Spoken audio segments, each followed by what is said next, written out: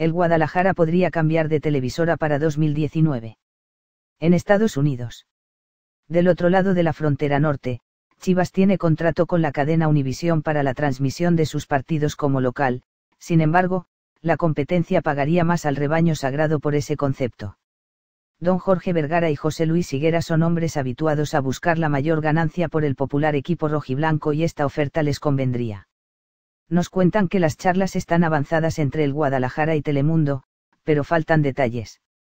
Por cierto, parece que Chivas TV ya no da problemas, o de plano nadie lo ve, pues los usuarios ya no se han quejado como cuando ni siquiera se podía ver al equipo por TDN. El año pasado, se presumió a todo dar la llegada del Game Pass, plataforma digital para ver todos los partidos de la NFL en México. Sin embargo, las fallas continúan sobre todo en Apple TV y Roku. El Game Pass era una auténtica joya para los aficionados al fútbol americano de nuestro país, dispuestos a pagar 3.600 pesos para sentarse en un sillón todo el domingo y ver a sus equipos favoritos. En las computadoras, tablets y celulares casi no tienen problemas al momento de ver un cotejo, pero la definición o el pequeño tamaño no permiten disfrutarlo. Donde las fallas se mantienen son en el Apple TV y Roku, diapositivos más cómodos de usar para conectarlo en una pantalla. Puras fallas.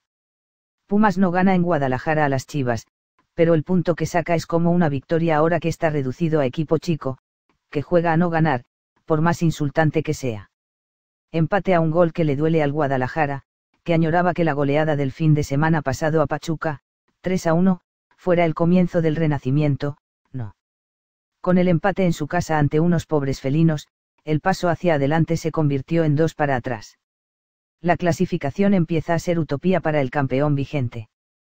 Porque Chivas fue superior de principio a fin, tanto que se convirtió en un monstruo de vanidad que consintió al rival, que se fue arriba en el marcador, pero al final vino la reacción de los de Almeida. Les alcanzó solo para empatar, alargar la hegemonía de no perder ante los universitarios y ya, porque un punto es muy poco para lograr una posible vuelta y entrar a la liguilla.